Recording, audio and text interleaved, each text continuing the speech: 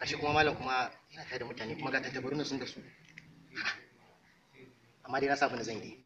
a to me ke tafe da ku ne? Wallahi dai dan tambaya ne dai. Assalamu alaikum. wa alaikum salam ha? Akaram yawa kala na ce hadda na zo bita. to Allah sa dai ka iya wanda na koya maka ko? Eh to to bari dai yi dai ka ji. yawwa to. Ikan tabarun nan sun ga su. lallai haddan nan ya zauna muka kai. So sai ka sa kunni ka ji abin da zan kara muka saboda shi ma sai ka je ka yi tilawansa. Wasauke, wajuye, wa barbaɗa musa yajin nan, wasa ta langa-langa, wa bari ɓaji na su watse. A, ina fatan dai ya shiga muka kai. To shi kenan. To, na gode, na gode. tafi kawai abin ka tafi abin ka. Sai an ji ku.